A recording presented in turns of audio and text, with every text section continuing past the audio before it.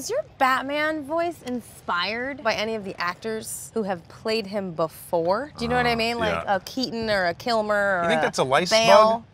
Right where? A there? lice bug or No. just a regular bug? Can you get that away from me? It's just a bed gonna bug. Ooh, Nice. Nice. Protein. That's Mm-hmm. a shot of protein right there. She also wants to know if you can do the Bane voice. I think that your Lego Batman is actually the best Batman, Wow. maybe of all time. Wow. Yep. Yep. That's a Yep. big.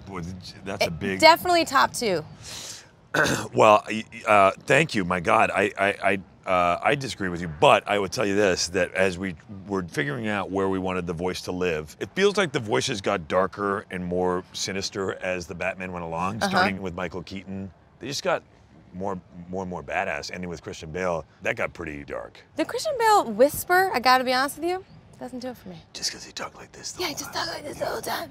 So we wanted to I take a, like. I wanted to take a Batman because he took himself seriously. That Batman did, not Really seriously. and like take himself even more seriously. That would be funny. Yes. So that, and to answer the Bane question, I think I can. We can all kind of do cartoon versions of the Bane, right? It was Mm-hmm. uh, Batman. Why don't you come over here? Well, no, I'm going to throw you out of the airplane because that's what you're meant to do. You're meant to die outside this airplane. Oh, that's pretty good. Is that good? That's Really pretty good. good. What's the guy's name who did it? Tom Hardy. Tom Hardy. Mm-hmm.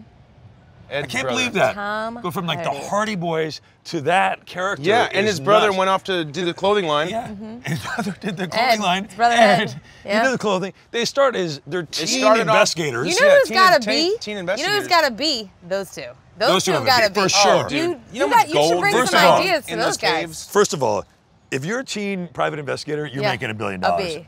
B. Straight, Straight up. up. Straight up. Yeah. Yep. Then you start That's a T-shirts starting that have crazy writing on 'em on Yeah. the back. Come Dragons on. and stuff. You And then put, you you end put up some doing like this all the time. yeah. Yeah. You but put you some know, flames down your pants. Come on. Yeah. you know, Tom blew a lot of Ed's money. Oh, really? Oh, really? Yeah. No way, dude. Yeah. What on what mainly? The face mask. No the oxygen way. purifying face mask. Yeah. Oh, I can see where that would cost a little. Yeah. Yeah, that's gonna cost you. Yeah.